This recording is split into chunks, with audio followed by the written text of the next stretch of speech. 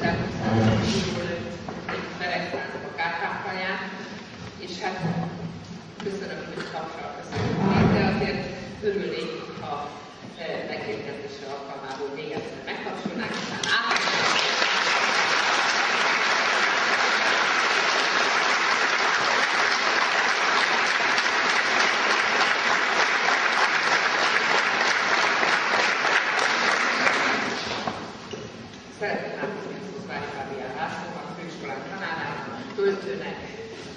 irodalmának, néprajzosnak tartja meg bevezetőségvását.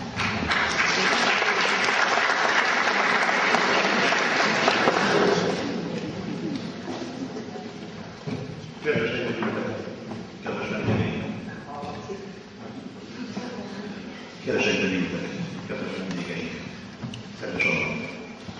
Idén 80. 80. alkalommal kerül megrendezésre a magyar könyvünket. Azt ugye megszoktuk már, hogy ilyenkor a budapesti központi rendezvényekkel párhuzamban a megyeszékek is ünnepelnek.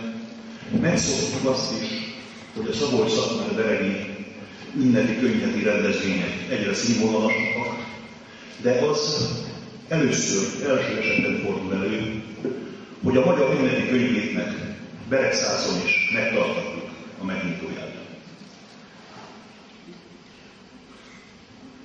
Jeles alkalom ez a mai, hiszen kisebb személyiséget köszönhetünk körünkben, mint a Kossuth díjjal és a Prima Primissimo díjjal kitüntetett Jókai Annát, a kortárs magyar prózairodalom egyik csillagát.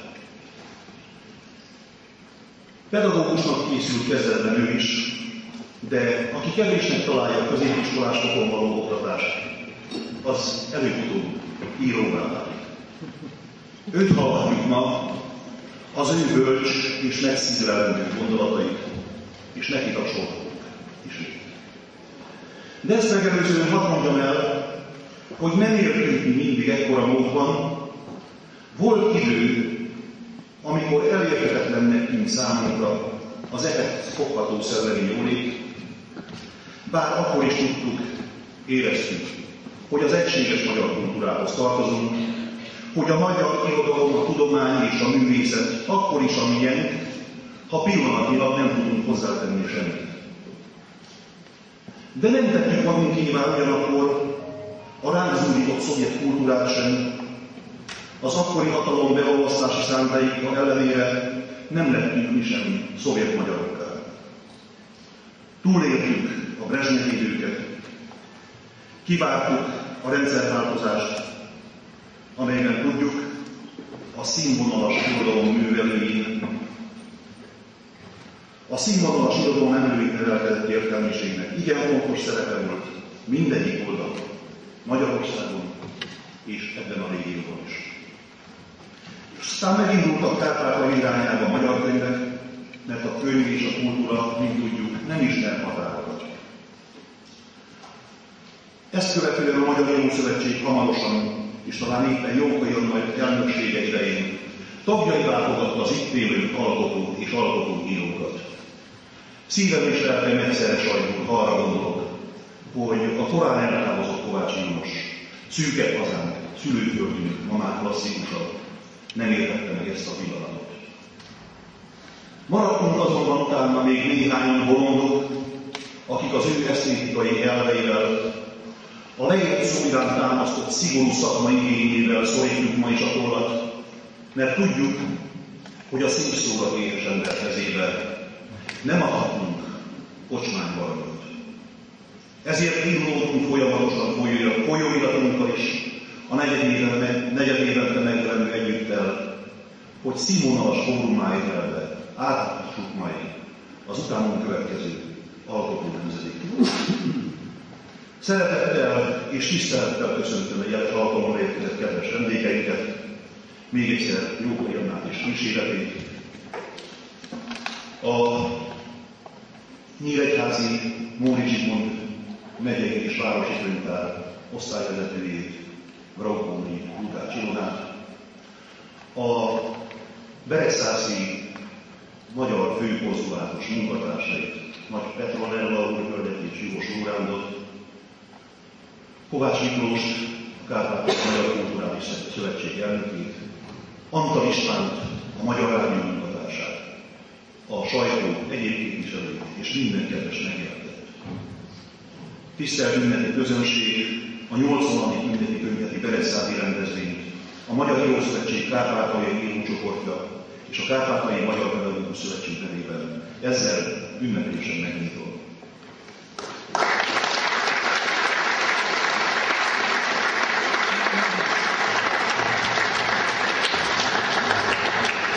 Kedves barátaim, furcsa nekem ez a elnökségi viszony, hogy itt ülünk a magaslaton, hiszen amikor a rádió mikrofonjában beszél az ember, akkor elképzeli a hallgatóit és igyekszik hozzá nagyon közel kerülni. Ha másképpen azzal, hogy a lehető legérdekesebb dolgokat igyekszik közvetíteni, ami a magyar irodalomban előfordult, megszületett.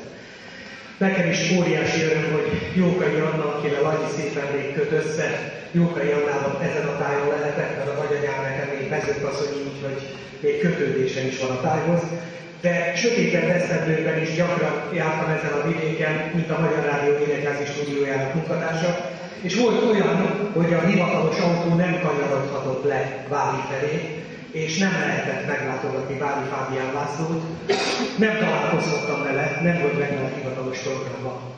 Azóta persze értem és tudom, az itteni költészetnek messze menően a legszabadabb, legfüggetlenebb személyisége volt, és most is az Vári Fábián László, olyan költő, aki nem alkotott egy percig sem, és a rendszerváltás után jelenhettek meg csak azok a versenyek, amit addig kéziratokból ismerhettem. Nem állt sorba hivatalos elismerésért, és nem sorjáznak ma sem a kötetében a kihagyató Lenin verseny. Úgyhogy azt gondolom, hogy hibátlan ember, hibátlan jó barát, és most boldog vagyok, hogy abban az iskolában lehetünk, ahol ő tanít, néprajzosként is kollégám, költőként nem, mert én szerencsére nem írok. Én úgy gondolom, hogy ne szaporítsuk a szót, szólaljon meg a vers, és hogy nekipázzak papírba pillantok. Lőrincké Gabriella mondja el Jókai Anna Ima Magyarország című versét.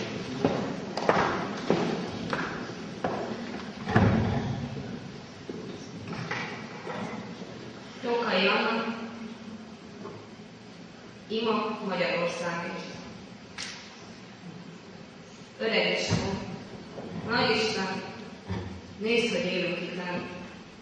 Katlanba zárva, csodára várva, csöbörből, bödörbe, magyarok. Itt élünk se élve, se halva, hurrá a vödörben halvan, süthetünk zárkás kis pecsenyét, a friss hús viszi már a fürge menyét, körben a bozoltól ragadozó szemmel illog, az elhevert csordákon áldozati villog. Csitt, csak csendesen, ne kiálts, mormod, csak mormod az imát. Öreg Isten, nagy Isten, ha te nem kisegítsen, sovány lakomállók, volt kínáltak, és akik ezt megitták, mind bódultak váltak. Csak csendesen, ne sírjánkhoz, bátran szólják ábult hazánkhoz. Öreg Isten, nagy Isten, érted sóvárom ma minden, akik hortognak szanaszék, vagy ébren vigyáznak, síkos savas eső alatt víz egyforma máznak. Csak csendesen, mind aki lázad, bárányról jelmezben figyelik a házat. Öreg Isten, nagy Isten, erősíts a hitben, hogy ami késik, azért el nem múlik. Él még a tenyája, bár a szőre Csak csendesen, nem használ a bárma. Mostoha szülők közt még átvág az ága.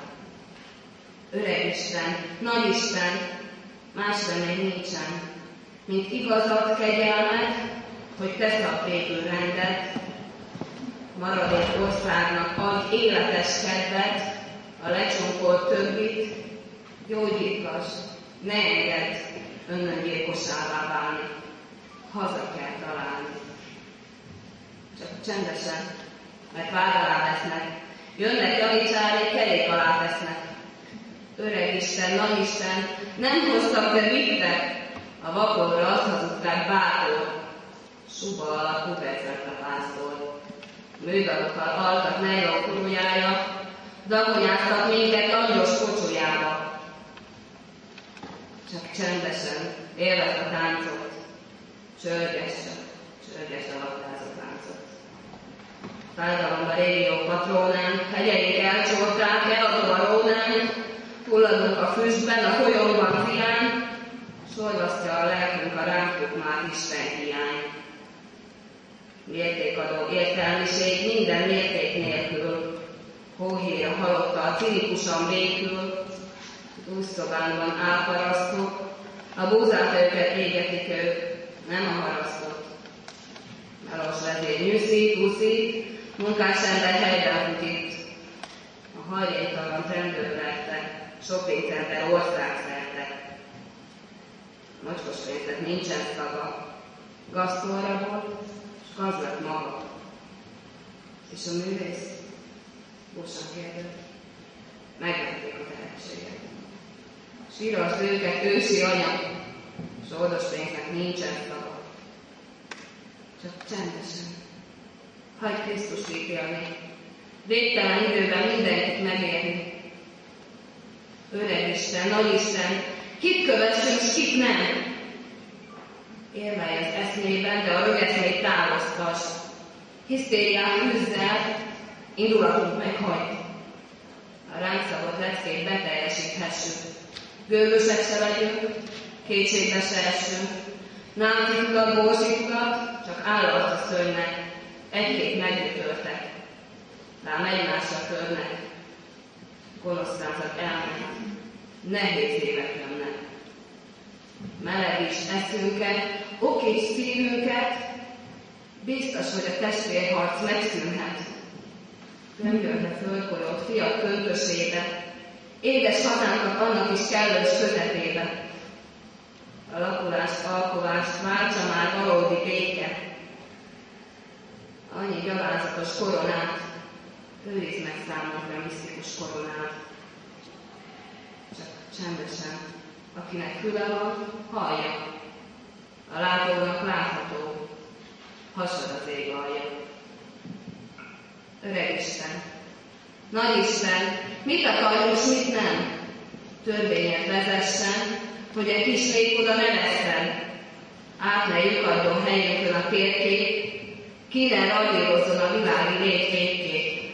Serkesd fel országod, magyarok Istenét, kenj meg könnyektől elhomályod szemét. Küld le a magasból újra egy véges veres földre, tarts köztünk most és mindörökre. A születés előtt túl hosszú volt az advent, hiszen az egész életünk hova tovább ráment. Mielőtt nem késő, te mondd ki az áment.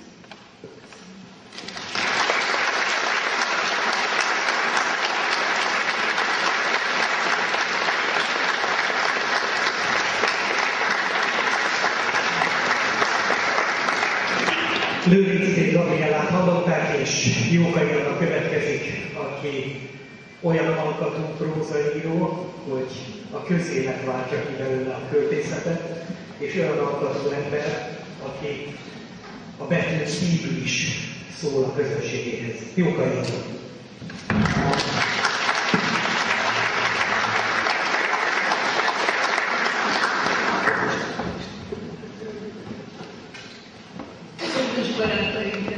mindannyian! Köszönöm a meglepetést, ezt a nagyon nehéz verset választottak. Ezt Magyarországon nagyon-nagyon sok színész szavalja. Bizony nagyon nehéz előadni. Ez 2002 átmentjén készült, amikor egy többletes meghívással kellett elmennem, és úgy éreztem, hogy olyasmit kellene mondani, az érdeklődőknek, ami igazat is mond, ami tükrözi azt a nehéz helyzetet, amiben mi magyarok kerültünk, ugyanakkor reménység is van benne. Valahogy Isten kegyelméből így született meg az ima Magyarországért, ami bizonyos fokig egy emblematikus vers lett. amit is hazánkban, a minden szentek templomában, ha véletlenül Budapestre járnak, látnak egy nagyon szép, hatalmas domborbűvet, ebből a versből készült, és ebben véstük le a saját kézírásomat néhány során.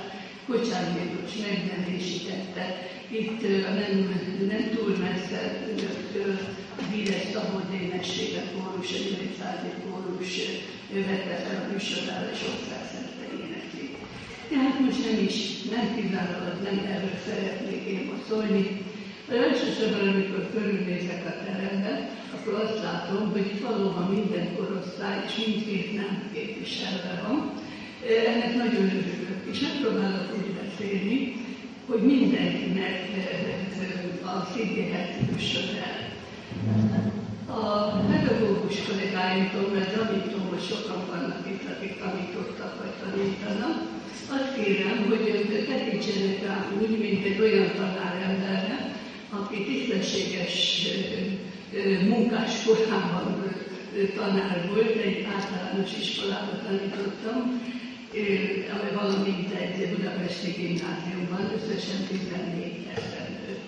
De úgy hozta a sors, úgy hozta az élet, hogy ez egyik se olyan kiemelt iskola volt. Én azt szoktam mondani, ami néhányan megbotránkoznak, hogy aki a pedagógiát igazából a munkát, az oktatói és nevelői munkát meg akarja látni, és annak az értékeit látni, annak nem a fajta kitenyésztett példány a fiatal iskoláiba kell Ne arra, hogy nagyon spőd dologért, hanem oda kell elmenni, ahol valóban nehéz sorsú, nehéz családokból jött, gyerekek indulnak, és ahol a tanárnak az a sikerélménye, hogy egyáltalán segíti, segíti őket az egyik napról a másikra. Abban a közegben pedig, ahol most vagyunk, nagyobb feladata azt hiszem pedagógusnak nincsen, mint úgy tartani meg magyarként ezeket a gyermekeket, hogy ugyanakkor a szívükben szeretet, méltányosság legyen, hogy a gyűlöletet ne ismerjék, de magyarnak lenni ezt a feladatot felismerjék és képviseljék.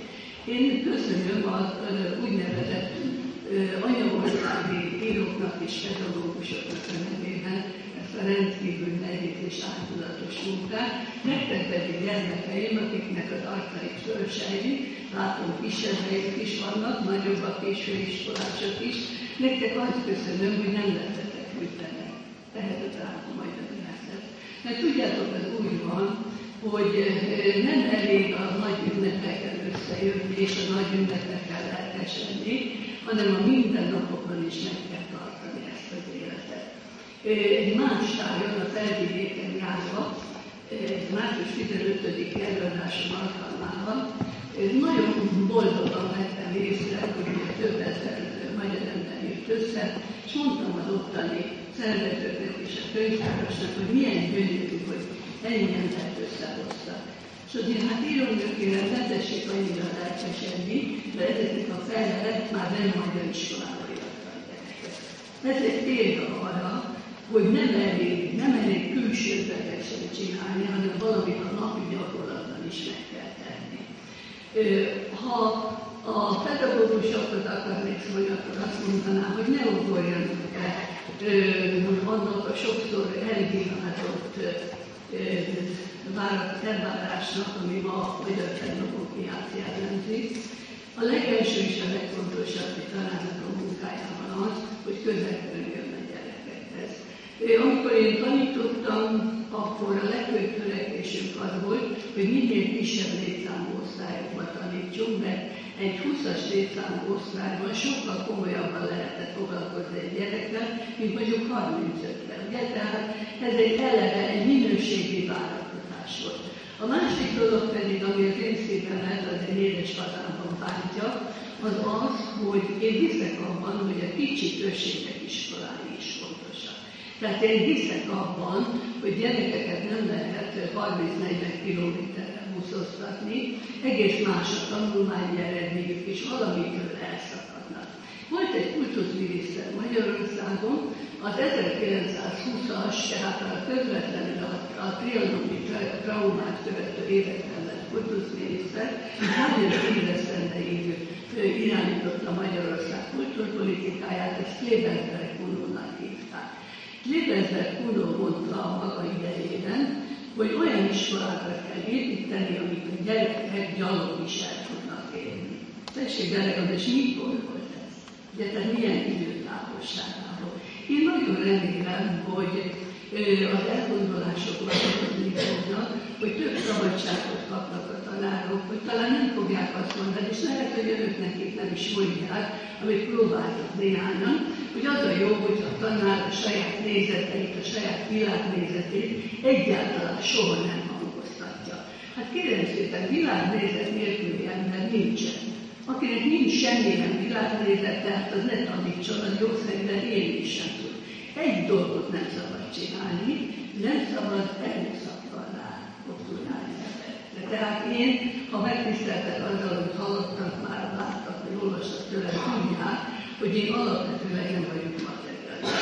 Tehát az én élethitem és az én életeszközöm olyan, hogy arra próbálom a fiatalságot és az idősebb generációt is taktatni, hogy gondoljanak arra, hogy az életnek az igazi súlypontjai egy spirituális szférában vannak, hogy minden, ami velünk történik, annak oka és felső célja van.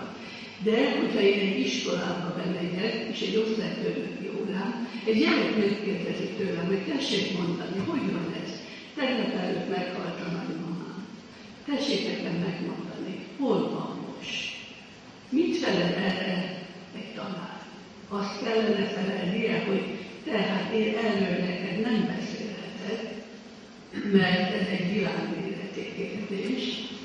Gondolja, mit akarsz. Hát akkor ezt a tanár ki kell söpözni az iskolában. Azt sem teheti meg ugyanakkor, hogy azt mondja a gyerekeknek, hogy én ezt így akarom, így tudom, és neked is ugyanígy kell gondolkodni. Ez se lehet. Volt egy nagyszerű magyar pedagógus ember, Karácsony Sándor, aki azt írta az egyik egyetemi jegyzetében, hogy a jó tanár, a jó pedagógus az olyan, mint egy bőségszarú, hogy bele megkínálja vele a gyerekeket, és a gyerek kiveszi azt, ami az ő egyéniségéhez, jelleméhez és a lelki fejlettségéhez De valamivel meg kell kínálni. Hát ha meg se kínálod a tanítványodat, akkor miből válasz? Tehát óriási nagy felelősség esik ma az értelmiségben belül is a pedagógusokra. De rátokra is, rátok is édesgyermekeim, mert hogyha elhiszitek azt a gyalázatos televízió világot, amit a legtöbb csatorna sugároz, akkor még a legjobb pedagógusnak a igyekezete is sorban egy olyan világban élünk, ahol nem az értéket közvetítik nagyon sokan, hanem a könnyebb ellenállás irányában állandóan leszedik. Én azért választottam a nem is előadás, ez inkább egy közös gondolkodás, ennek a címébe az, hogy az értelmiség felelőssége, mert én nagyon elégedetlen vagyok a magyar értelmiséggel a magyar értelmiségnek egy bizonyos részével, azzal a részével, akinek sokat adott, többet adott az Isten, mint mondjuk egy átlagembernek, és ezt a többletet nem fordítja vissza a többi küzdő, cselekvő, szenvedő. Nem úgy néznek ki a mi édes hazánk, sem a magyar nemzet, hogyha ez a magyar értelmiség minden alkalommal karakánul, nem gyűlölködve, nem hisztérikusan, de az igazat a magyar értelmiségre sokkal nagyobb szerep várna. És akkor persze kérdezhetjük, hogy ki állt az értelmiség.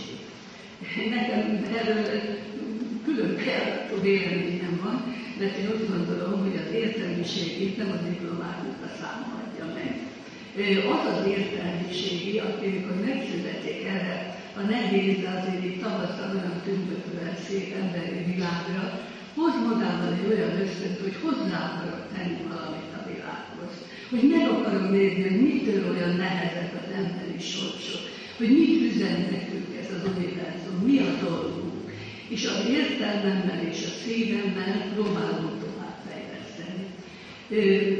azt hiszem, hogy azon a lélekben, aminek a létezésében hiszek, amit egy másfajta létezésben raknak majd tele súlyokkal, többet fog nyomni az az úgynevezett egyszerű ember, aki mindig meg akarta maga körül a környezetét egy kicsit jobbítani, akiben volt áldozatkészség, aki nem dőlt le a hazugságoknak, akiben volt hűség ahhoz a nyelvhez, amiben született, többet fog nyomni, mint esetleg egy olyan értelmiségi, aki összekaphat magának öt diplomát, de szegénynek olyan jelene van, hogy a kutyát se bízunk rá sétáltatni, mert félig, hogy a következő sarkon eladja. Tehát nem, nem ettől függ egy embernek a minősége, hogy hány iskolája van. Természetesen fontos, ezt mondom nektek, hogy megtanuljatok, fontos, de van valami, ami ennél még, még fontosabb. És ezen a mérlegen nem egyformán esnek, még egyszer mondom, bizonyos dolgok latba. Én ahhoz a, ahhoz a élő társadalomhoz tartozom, amelyik hisz abban, hogy ha kapod valamit, akkor azt a valamit, azt megpiasztatva kell visszaadni, amikor eljönnek majd a nem szeretem órák, és az ember elköltözik ebből a földről. Tudjátok, ismeritek, olyan közegben éltek, ahol a hívvégi gondolkodás remélem nem tilos, sőt, kívánatos. Ismeritek azt, hogy mindenki talentummal születik. Ezt annak a pici kis gyerekek a tenyerében, még az életvonalába beírva is megtaláljuk. Ezt a talentumot kellene az életünk során valahogyan fiasztatni, de nem úgy, ahogy a mai világ elképzeli, nem úgy, hogy bankokat alapítok, hogy egyre több amit a másik ember éjjel van, hanem úgy, hogy szellemileg, erkölcsileg többé válok. Hogy amikor elmegyek ebből az életből, több vagyok, mint amikor megjöttem. Fiasztattam a talentumomat. Ez, ez tulajdonképpen ez vár az emberre. De hogyha a szószólói, azok az emberek, akik valamelyes több pénzt kapnak az életükben, hallgatnak, kushatnak, vagy hazugságoknak a szolgálójává feküdnek, akkor elárulják nem csak a saját nemzetüket, nem csak a szegény küzdő embereket, hanem elárulják azt az Istenügyet, ami 2000 év óta, a Krisztusi megjelenés óta egyre erőteljesebben van bevívva a világ lelkébe. És én ezért mondom, hogy mélységesen igaza volt Mavicsnak, mert mindenkornak megvoltak a maguk is megalapulói, és mindenkornak megvolt az a, az a baj, amivel meg kellett küzdeni, amikor Babics azt mondta, hogy védkesek köz, cinkosak, néma, ismert sor, szinte közfejszámba megy. Én ezt egy kicsit folytatom, mert azt mondom, hogy az is védkes, sőt, talán nagyobb védkes az, aki együtt csomol a védkesekkel.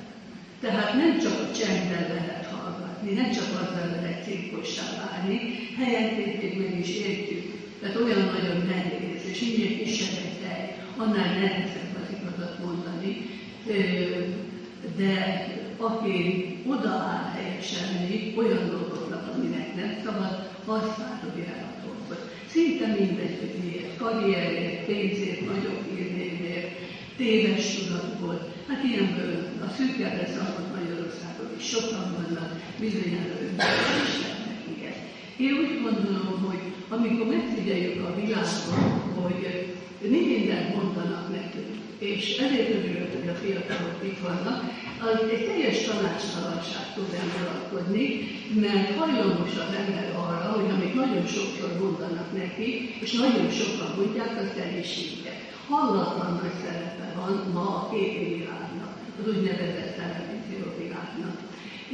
Gondolom, hogy egész dolgos életetekben, és az önök életében is, azért vannak olyan pillanatok, amikor rákapcsolnak egy ö, magyar madogra. Én is madogista vagyok, ami azért jelenti, hogy időnként azzal kötve magamat, hogy megnézem, hogy lehet az, hogy ez tényleg igen, aztán rájövök, hogy lehet. Akkor tudják és ismerik, hogy újabban ugye egy ilyen celebvilág kezd kialakulni. Jönnek a celebek, mondják, és ezek után a celebek után nagyon sok fiatal ember úgy nézi, és először a józan lesz azt, hogy ez nem lehet, És utána valahogy, valahogy, valahogy korrumpálja az ember életet. A végén még el is viszik. Ez a borzasztó, hogy ez van, ez a jó, ez a sikeressége. Tegnap mondtam egy nagyon kedves erdélyi közösségben, tegnap mondtam, hogy ez a ez a celeb lét, ez összefügg egy olyan fogalommal, amit itt is el szeretnék mondani, óvaintve mindenkit, hogy jelző nélkül használja, hogy elgondolkozott az életben az, hogy nyitottnak kell lenni. Ezt úgy elmondják nekünk, hogy nyitott. Jaj, de nyitott, mondják valakire. Nem tesznek elé jelzőt a baj ebben, nem a nyitott szóban, a jelzőben, ami elé van. És jön valaki, jön egy személyiség, bemutatják nekünk tévében, vagy bárhol máshol, ájulatos, alázatos szövegek kíséretében, most igen szegény magyar ember, most jön egy nyitott ember. Na most az ember várja, hogy milyen lehet egy ilyen nyitott, fejlett, haladó személyiség. Csak ha jön valaki, aki azt mondja, hát édes Istenem, hát ez lehet, hogy valamikor egy jó művész volt, most megfelelő bogarakat esik, esik a főserdőben, Hát azért, azért ez talán mégsem olyan dolog, olyan nagyon. Hát és akkor képzeljétek el, hogy volt Budapesten néhány olyan középiskolás diák, nem tudom a tanárnak mit szóltak hozzá, akik be is költöztek ehhez az illető, tanulmányozni a művész nyitott életét. Tehát a probléma nem abban van, hogy nyitottnak kell lenni, hanem abban van a probléma, hogy mire vagytok nyitottak. Hát ugye úgy vigyázunk, kedves kollégák is, és mindannyian, akik itt vannak ezen a szép tájon, mindannyian vigyázunk arra, hogy ahol az egyre kevesebb pénzből, ami az életünkben jut, arra vigyázunk. Ugye most, amikor eljöttek, biztos, hogy senki sincs, aki kiakasztotta a lakáskulcsot, és egy nagyon modern legyen, írta, hogy kedves, kedves emberek, tessék nyugodtan besétálni, velünk nyitottak vagyunk, nyugodtan tessék a kertjeiket földolni, dolgaikat elvinni, mi nyitottak vagyunk. Hát nem. Na de hát ha vigyázunk a saját nehezen megszerzett javaikra, hát csak a lelkünkre nem vigyázunk, abban lehet sáros sírmákat beletaposni, ott lehet kiszedni a valódi virágokat és elültetni benne a gyomokat. Ez a legnagyobb veszély. Azt mondják, hogy persze, hogy az mindannyian tudjuk, de volt válság, még az én születésem előtt a szüleimnek a emlékezetéből tudom, a 20-as évek végén és a 30-as évek elején szintén borzalmas pénzügyi válság volt, de akkor az árnak a túltermelése okozta a válságot, hogy többet termeltek, mint amit az emberek fogyasztani tudtak. Már az is egy Isten ellen való vétek, hogy a búzát beöntik a tengerbe, hogy ne legyen. Ezt én soha nem tudtam megérteni. Ma nem ez a helyzet, ma az a helyzet, hogy a pénzből lett sok és rossz zsebekben. Ebből lett a mai válság. Hogy az, ha az emberi kapcsiság nem lett volna olyan, hogy elhiszi, hogy az életnek ez az egyetlen értelme, hogy karriert kell csinálni, hogy valamilyen módon élvezettel kell az életet megélni, minél többet fel kell halmozni, akkor ez nem. Ma egy ilyen erkölcsi is átélünk, nem csak Magyarországon, az egész világon jelen van, csak mi magyarok fokozatban érezzük, mert kiszolgáltatottabban vagyunk bizonyos értelemben. És ez az erkölcsi válság, ez hat természetesen a gondolkodó emberekre és az úgynevezett írókra is. Én azt hiszem, hogy ennek a tájnak nagy szerencsége van, mert nagyon jó művészeket engedett a világban. Én nagyon szeretem Vári Fábián Lacit, a kedves tanárokat, tényleg az egyik legjobb költő ma, és nem így mondom, hogy itt a Kárpátalján, de azt mondom, hogy a magyar nemzeti közösségben belül. De ezen túl vagyunk már, túl kell, hogy legyünk, hogy így meg. Úgy tudom, hogy a Pencs Koffer nevű fiatal költő is itt ügyködik, vagy ide vannak gyökerei. Van még sok-sok nevet említeni, a sátánpadjának az írója, a Nagy Zoltán, emlékszem, hogy a részkönyvet miatt tudtuk neki ítélni. A régiek közül szorgalmasan küldják könyveit a Balla Laci, bácsi, ott van a fiam Balladékán, ő aki egész más irányt képvisel, de maga eredeti tehetségében szintén fontos. Tehát ez egy olyan, ez egy olyan táj, ahol adja magát a maga költészet is, és adja magát az is, hogy az ember ellenáll. Ellenáll annak, hogy beolvassák, ellenáll annak, hogy elvegyék a nyelvét, ellenáll annak, hogy ellenáll és ehhez nem kell nevezett kisebbségben élni, ez az anyaországon belül is megtörténhet. Valami történt a világunkban. Megváltoztak, rossz irányba megváltoztak az emberi ideálok. Sőt, most megint az ifjaknak mondom, meg az én korosztályomnak, akik talán még emlékeznek rá, ha máshonnan nem, akkor a réges-régi családokban megőrzött új időkről, színházi magazinokból, hogy például a szépségverseny most figyeljetek gyermekeim, mert mindenki a szépségverseny, a fiatalokat mindenkit érdekel. Mindig volt szépségverseny. Milyenek voltak a régi szépségvilágnők? Nézzétek majd meg otthon, ha valaki egy ilyen régi képet. Régen a szépség eszmény, ha nő volt a illető, akkor olyan volt, hogy olyan pici kis szakkos fizura, hullámcsattal volt a koponyához hozzátűzve, nagy szeme volt a szépség királynőnek, gyönyörű nagy szeme, és pici csereszjepiros szája. Ilyen kis csücsös. Ez is mutatott valami, kicsit maníros volt, nem volt, nem volt egészen természetes. És most, ha megnézitek a szépség királynak választásokat, egy nagyon érdekes dolgot fogtak találni, aminek filozófiai tartalma is van. Ma a szépségkirálynőnek a legelső követelménye az, hogy óriási legyen a száj. Nézzétek meg, hogy lehetőleg olyan szája legyen, ami megtartja akkor baj van, akkor már nem lehet szépségkirálynő. A szeme pedig nem vagy a kicsi, vannak ilyen kicsi kis disznószemek, az jó, mert De ez valami mutat. Ez azt mutatja, hogy ez a mai világ, ez gyomor emberré kezd válni. Egyik gyomorcentrikussá, másrészt pedig szexcentrikussá. Ma ez a szép, amit ezt a kettőt sugalja. Aztán hadd mondjak még annyit neked, drága fiatalok és kevésbé fiatalok, valamint fiúk, hogy nem szabad senkit az első látásra külső után megítélni, de rendkívül árulkodó tud lenni egy bizonyos típusos külső. És ez a típusos külső a Magyarországon elsősorban azokhoz járul, akik megpróbálják elhitetni az emberekkel, hogy nem fontos a szerelem, hogy nem fontos a házasság, hogy nem fontos a család, hogy teljesen mindegy, hogy kit az utcasarkon, úgy fogyasztjuk, hogy más a zsíros lilahagymával. Ma már ezek nem érdekes dolgok. És akkor behívják valamelyik egy gyalázatos beszélgető sóba, szégyenletesek és ott a szegény számlandó emberekkel, akik ott ülnek, behívják, és megkérdezik, hogy tessék mondani, hát tényleg ön, ön nem akar egyáltalán családot, nem, nem, hát az a karrier akadályozta, gyereket szülni nem érdemes erre a világra, szabadabb vagyok. És akkor az ember megnézi a külsejét. Van egy külső megjelenés, ami szintén árulkodó erre a korra, és hogy bocsássanak meg a kedves nőtársaim, ha valakit megbántok, gondolja át, hogy talán van valami igazság a szavaimban.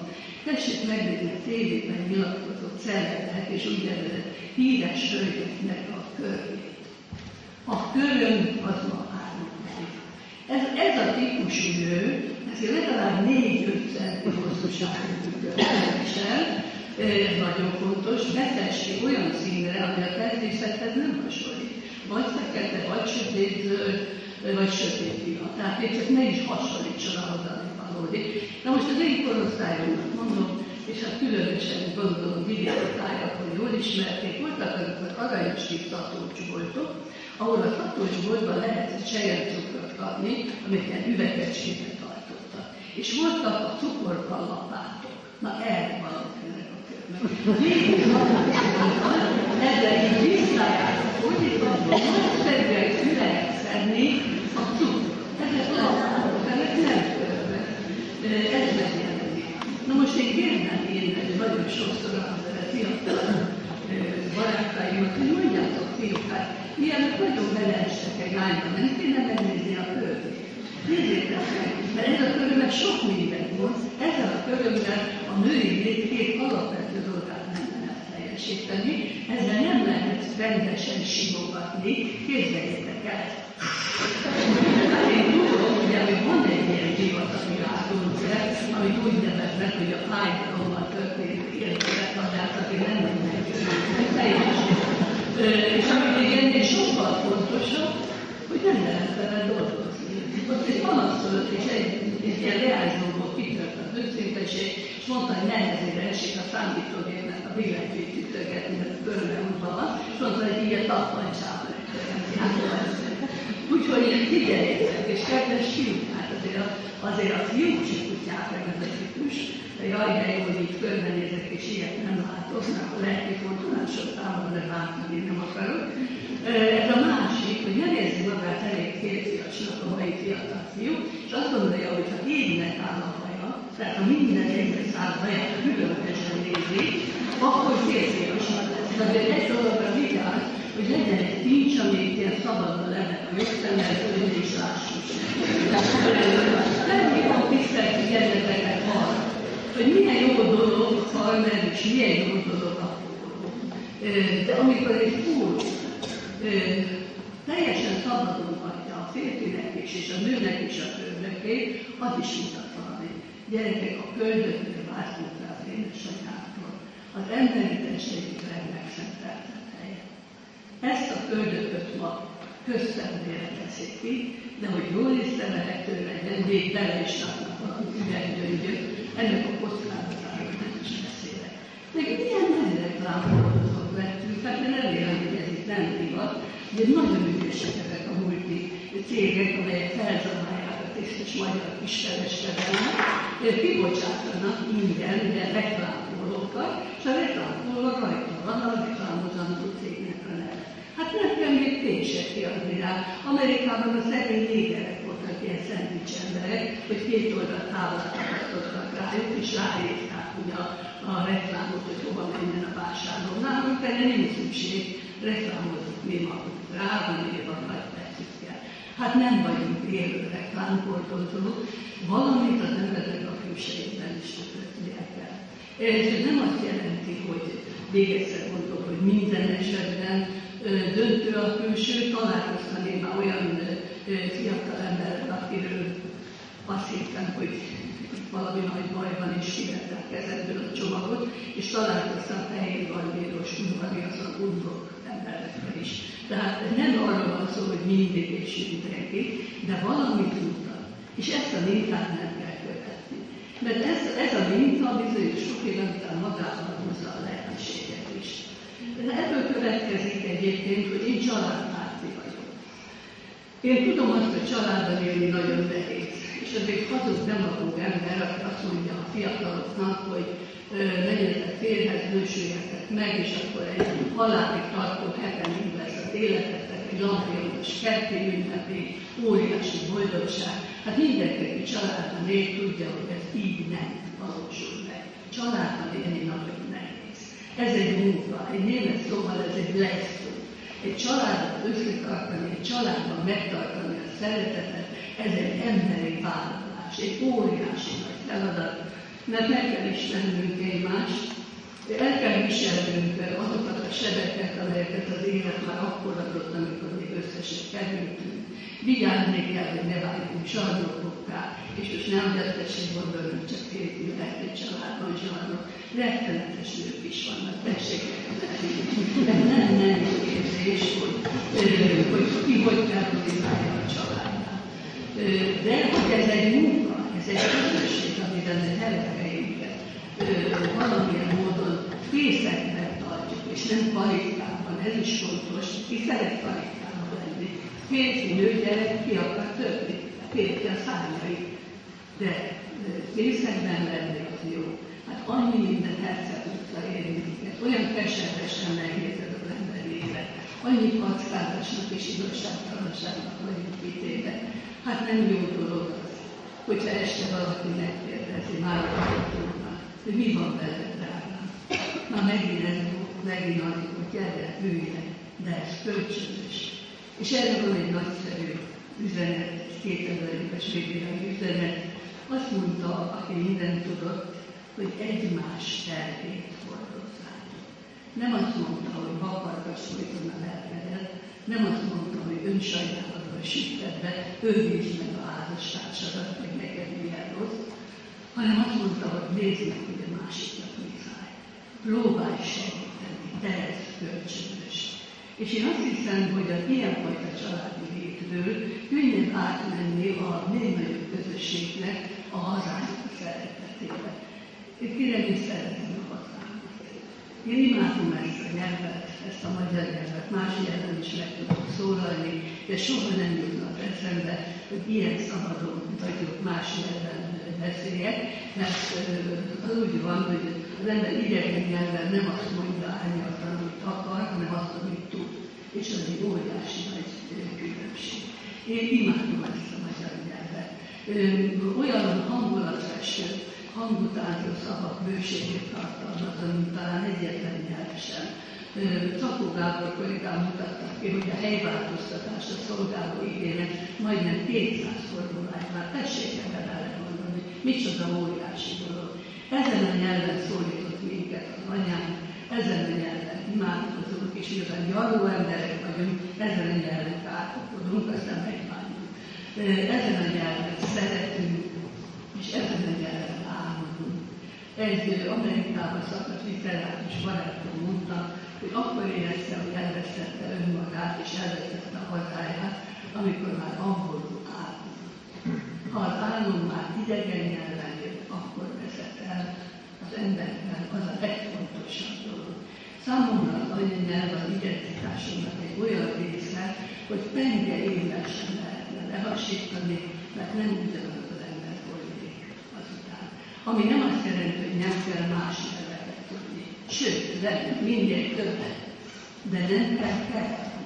Ismerik ezeket a álművek embereket, akik kimennek mondjuk Kanadába, hazajönnek fél év múlva, és már nem tudnak magyarul. Azt mondják, hogy kint a boyfriendemmel elmentem shoppingolni. És ilyenkor kérdezem, hogy valahol át oda vásároltál. Nem, de hát el a keveredése a nyelveknek, ez egyik nyelvnek sem használ. Annak sem, amit átveszünk és bekeverünk, de a mieknek meg különösképpen nem. És amit pedig a magyar irodalmat illeti, ezt a példátlanul nagy kincses házat, amit mint magyar irodalomszakos tanár is ismerek és szeretek és szeretek, tudom, hogy bármilyen furcsa, de a mi nyelvünkre, a magyar irodalomra elsősorban az a feladatra áll, hogy a saját nyelvén beszélőket hozza össze. Ez egy különös sors. Vannak nagy nemzetek, amelyek megengedhetik maguknak, hogy erről elfelejtkezzenek, nekünk nem ezt a sorsot adta élet.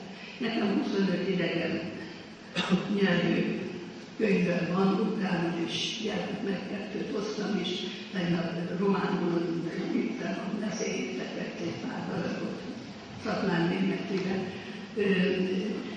És mégis azt mondom önöknek, hogy soha semmi különösebből nem származott belőle. Csak abból, amit majd a nyelven tudtam megjelentetni. Tudod, itt jött meg az a lelki szellemi visszajelzés. De hogy hogy is néz ki, amikor az első könyvem, a 4447 megjelent Lengyelországban, ez a 70-es években történt, és kaptam egy tárgyatot a lengyel fordítónak. Na most itt a gyakorlat, mondom, a 70-es években külföldről táviratot kapni egy akkor induló írónak, mikor a rejtjelesnek tűnő táviratot, ez nem volt olyan egyszerű dolog. Jön egy távirat, azt mondja, azonnal választ kérek, miért ad vizet, írja embereknek. Hát mondom, ez megszűnt. A milyen micsoda, és elkezdett a postát, ahol fölveszik. Mi van, mi egyenek, milyen egyenek minden. És akkor elkezdtem úgy lapozgatni a könyvet, aztán rájöttem, hogy azt hittem, hogy Jusi néni ült a konyhában, és itatta az egereket. Na most én alkottam mindent el tudok képzelni, a leszélyekben, lényében nagyon sok olyan szólást használok, mert szeretem ezeket a szólásokat. És elképzelem, hogy az idegen nyelven megjelent könyvekben, mondjuk azt írom, hogy Mária hogy kötötte az evet a kapot. De elképzelem, hogy megjelent a könyv, hogy egy Mária asszony fogott egy lécet, és a kutyát, elmegy, nem tudja, és hozzákötötte. Olvassa a szegény külvonó olvasó, és hát ha nagyon sznob, akkor azt mondja, hát igen, ez a hosszú modell.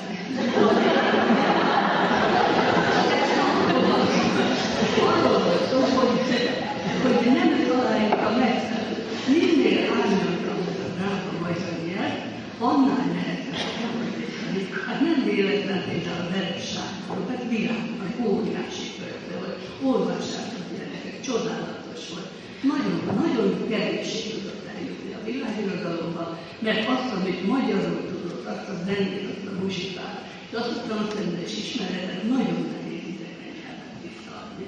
Tehát én ezzel csak azt akarom mondani, hogy ragaszkodjatok a magyar nyelvhez, mert egy nemzet, ha is mindaz, ami magát magyarul éli, ha elveszíti a nyelvét, akkor olyanná válik, mint a harangban melyiket kitéti a nyelvét.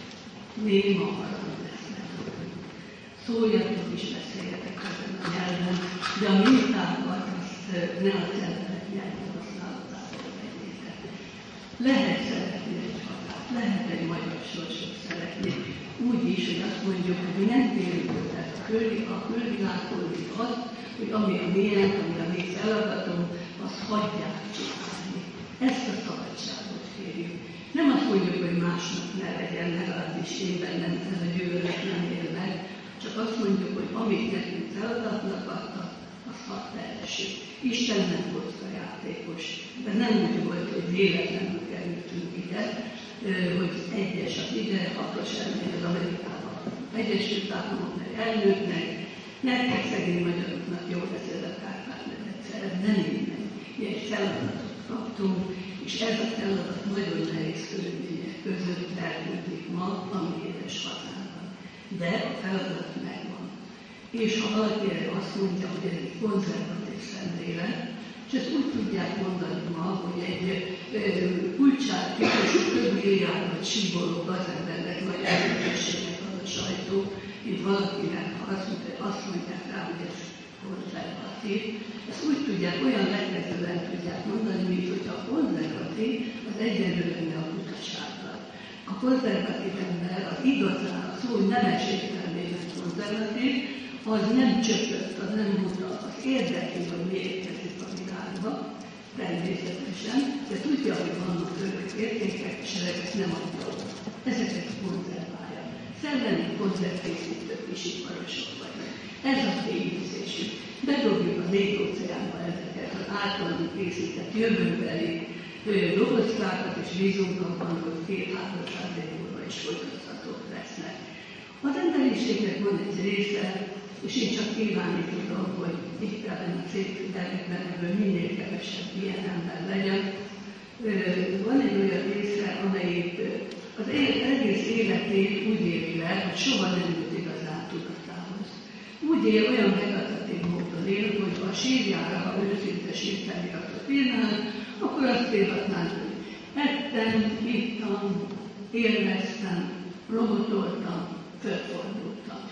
Hát szép, csak hogy ez egy állatnak felirata. Minket nem küldtek el a teremtés. Valami másról.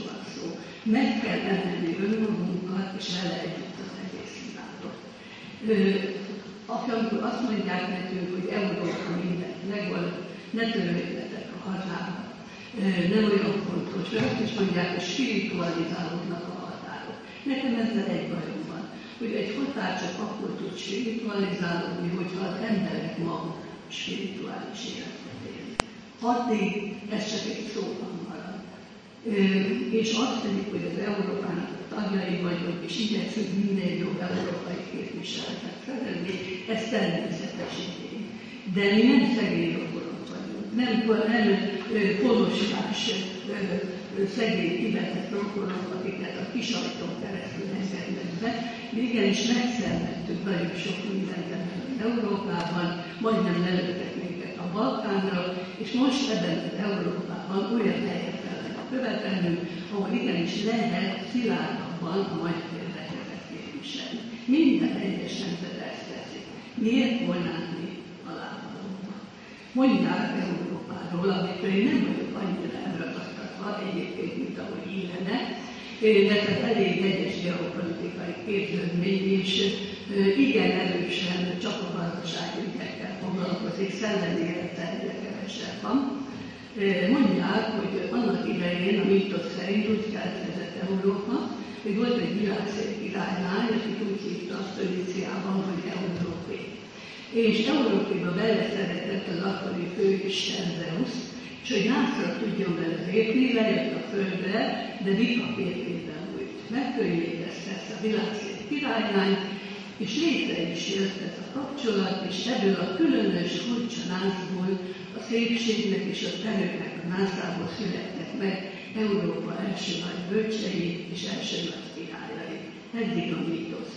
A baj az én prózai, prózai vetületemmel, hogy azért én ezt a mostani Európát nem egy ilyen harmatos termékeny, makulátlan látom, aki az erőben szövetkezik, inkább ez olyan, mint egy olyan többszörösen elvált, imitam, hogy kétes erkölcsű, villatupos nőszemély, aki úgy bolyog, bolyog, bolyog valahol ilyen labirintusba, és elkezdte üldözni nem az isteni vika, hanem az aranyborjú.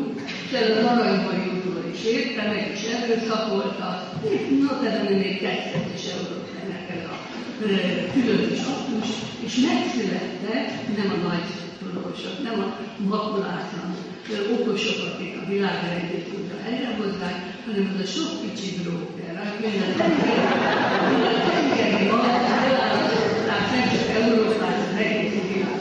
Nem, neked egy másfajta Európa. Kételben, és szeretném, hogy ez egy gyönyörű európai zászlón, ahol évszintként alapon 12 csillag tündököl, szeretném, hogyha oda közepére be tudnánk valamit színni. Mi magyarok és más olyan kis nemzetek, akik nagyon megszenvedtük a történelmet és az életünket is.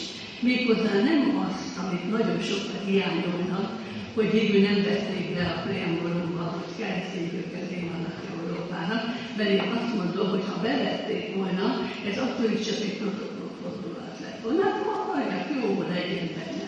Nem. Nekünk oda középen nem a protokoll Isten kell, nem a sémák Istene, nem a formák Istene, nem a világot megosztó Isten, hanem az élő Isten, amely irányza annak, hogy mit csináljuk az életünkkel, a hazánkkal, Európával és ezzel az egész földel. Mert akkor már eljutunk az egész földre, és eljutunk ahhoz az ájunk gyönyörűséghez, amit kortársai úgy neveznek, hogy végre itt van a globalizáció. Hát kérem szépen, én ezt a globalizációt, ahogy most kinézett, utálom legjobban. Azért, mert ennek semmi köze nincs a valódihoz. A, nem a szellem globalizációja elsősorban, hanem nagyon nehezen tetten érhető gazdasági érdekeltségek bevonják a megnézheteteket, és benyomják oda azt, amit az ő használat. Ma jelen pillanatban ehhez hasonló a globalizáció. Nem te tudod kivéni a világban tiédet, hanem neked adják a készszerűen. Volt egy hirdetés a magyar televízióban néhány évvel ezelőtt, nekem ez volt a globalizáció legálmodozóbb jelének, hogy jött a tillakóval elfogadott Mikulás, karácsony előtt, és minden olyan valódinak nézett ki, hullott a sejtes serény, hó, csilingettek a csendők, rémszagas, aztán, és a piros köpenyekes álmikulásunk megállt egy hóba süppet kunyhónak az ablakánál. És előbújtott a háta mögül egy coca. De ez a coca üveg nem ilyen volt, mint amit ismerünk, és nem is a Tesco-nak az a pocsék gazdaságos kólája, hanem egy annál sokkal nagyobb valami ilyen, ami nincs, de a hasán ott volt, hogy mindig minden. Ez a globalizáció. Megfogta és benyomta ezen a ablakon. Ez, és ott volt utána a szöveg, olyan aranyosan, hogy szenteste is Coca-Cola. Mondtam én magamban, és hát ha nem undorodtam volna meg az állami szintre drágáltságtól, akkor még az én számot is elhagyta volna valamire, vagy én megmondom neked, hogy mikor még és hogyan az én mégis. Na ezek azok a amikor az, ami a miénk, ami, amit valóban tudunk, vagy amit mondjuk erre szép termel, hogyha ezt nem lehet eljuttatni, hogyha e helyet kell dolgokat enni, inni és ájútat tisztelni. Tehát akkor soha nem lesz. Így maradunk mi emberek, ilyen mesi állapotban, hogy szétszabdalják a világot a határok. Nagyon jól tudjuk, hogy 2000 évvel ezelőtt az az isteni lény, aki emberbőrbe bolyva először a világtörténet folyamán ide érkezett hozzánk, az minden emberhez jött. Az nem csak egy nemzethez jött. Az a bantú népekhez is elérkezett, és ahhoz az emberhez is, aki talán, ö, talán még nem is hallotta nevét emlegetni, mert a Golgotai misztériumon kifolyt vér az átadott az egész földet. Valami történt. Tudjuk, hogy az egész földét jött. De nincs ellentétben azzal, hogy részfeladatóban világosodik meg, és addig, amíg az embernek részfeladata van, addig azt kell teljesíteni. Azt mondja Ős Marti a világ egyik legkeserűbb versében, a Vincitányban, még mindig lelki előről tanúskodva, hogy lesz még egyszer ünnep a. Csak olyan közel jön az a lény, akit én szeretnék a világban megismerni, és egy kicsit írtónak lenni, kövesen. Azt mondja az embernek, hogy édesfiam, édeslányom, lesz ilyen. De ezt nem globalizációnak fogják hívni, hanem ez lesz az, amikor a szeretet és a bölcsesség bolygója lesz majd ez a föld, beteljesül a teremtés végső célja, ez lesz a Krisztusi komódió. De ez, ami most van, édeslányom, édesfiam, ez csalás. A világ vitorló fejedelme el akarja venni az élet urától, amiért erre a földre jöttünk. És mindig lesznek világi emberek, akik ilyenkor előugranak, és azt mondják, nem mehet. Akarta globalizációt? Jó lenne, hogy majd a ti Krisztusotok? Hát ez nagyon sokára fog megtörténni. És ráadásul ahhoz meg kell változni. Hát ti nem akartok megváltozni. Nektek jó ez. A sár, a kocsolya, a hulló apró pénz. Majd én megcsinálom. És ha nem vigyázunk, megcsinálja. Csak az az emberiségnek már lesz lesz. És ebben van minden egyes ember feladata, hogy ne azt mondja ma, hogy úgyis kicsik vagyunk hozzá, mi nem tehetünk semmit, a hatalmasok a fejük felett döntenek. Ez nincs. Nincs olyan kicsi ember, aki magát kicsinek érzi, akinek ne adott volna valamilyen felelősséget az Isten. Teréz anyának egy interjúját hallottam, ahol valaki meg akarta szégyeníteni, egy riporter, és azt mondta neki, hogy maga nagyon jól tudja, hogy ebben a világban semmit nem lehet csinálni, mert az igazságtalanságban egy tenger. És akkor ez a drága, kicsit is sajnos mesztelen a asszony azt mondta, hogy tetszik tudni, én nagyon jól tudom, hogy a szenvedés óceánja végtelen. Tudom, de én és a lányaim minden nap elveszünk egy cseppet ebből a végtelen. Tetszik tudni. Mivel ezt hallottam, a bolond szívem megnyugodott, megszégyenültem, és én azóta is próbálom mondani alázatosan és szeretettel, hogy egy csepp mindenkinek jutott.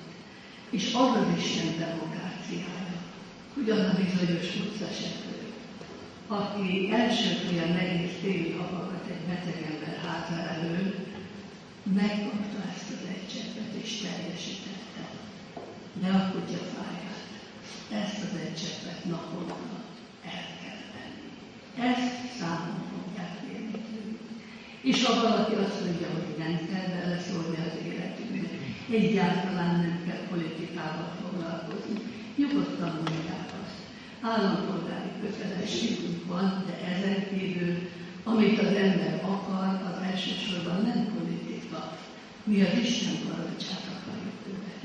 Arról nem tehetünk, hogyha nem egyezik a világi hatalma Gondoljanak abba bele, mit jelent ez a mondat. Nem csak igény, nem csak kenyérre, hanem az ígéret is él az ember. Gondoljanak ebbe bele. Ez azt jelenti, hogy így nyilatkoztatták, hogy a kenyér a földön fontos, és a kenyér szent. De azt is nyilatkoztatták, hogy az igaz beszél, és az ige is fontos. Aki elveszi a kenyeret az embertől, az az Istentől veszi el az élet igazságát. Aki ige helyett hazugságoknak nő be, a szembe kerül az Isten üzenettel. Gondoljanak arra, hogy Magyarországon egyre több nyomorgó ember van. Ez a rendszerváltásnak a legnagyobb szégyene egyébként, hogy több nyomorult van, mint volt az előtt. Ezt nem lehet, ezt sem értelmiségi, sem jó akaratú ember nem tudja igazából megemészteni. És az a mondat, hogy a munkás kapja meg az ő méltó bérét, ez nem párt szlogen, ez Jézus Krisztus mondta. Milyen egyszerű. És ez nem történik meg jelenleg a világban. De mi vagyunk. Mi valamikor úgy mondják, Isten. Hát nem kéne egy kicsit itt segíteni. Gondoljanak arra, hogy a három napos sokaság volt valahol a tónak a partján, amikor beszélt hozzájuk, a világban érkezett Istenügyeink megéreznek, elfogyott az ennivaló. Ha ez a lény olyan lenne, mint egy mai divatos guru, aki, aki próbálja befolyásolni az embereket, akkor minden valószínűség szerint azt mondta volna, hogy mentek, hogy Uram, éhesek vagyunk. Nincs kenyér, nincs hal. Akkor azt mondta volna, hogy ó, hát ez nem olyan nagy baj. Langyos a homok, üljetek meg. Üljetek szépen a homokba, és hallgassatok engem. Három napig írjátok. Ez egy wellness úra. Ez egy mérettelenítő program. Üljetek, emberek, dőljetek oda a jó homokba, majd aztán lesz valahogy. De az életében tudta, hogy aki az igét meg akarja hallani, csak egy húsba és vérbe van kötve, addig enni kell. És a kenyér szent. Erről van ma szó a világban. A lélek szentségéről, a kenyér szentségéről, a hazám szentségéről, a jogainkról és a kötelességeinkről. Gyereknek, pedagógusnak, értelmiségnek, érkezinek, földes munkásnak valamit ki kell az életből nézni, mert nagy félelemben él az egész világ, Isten nagy ajándéka, ne félni, szívű legényebb szól erről, hogy mindenki fél.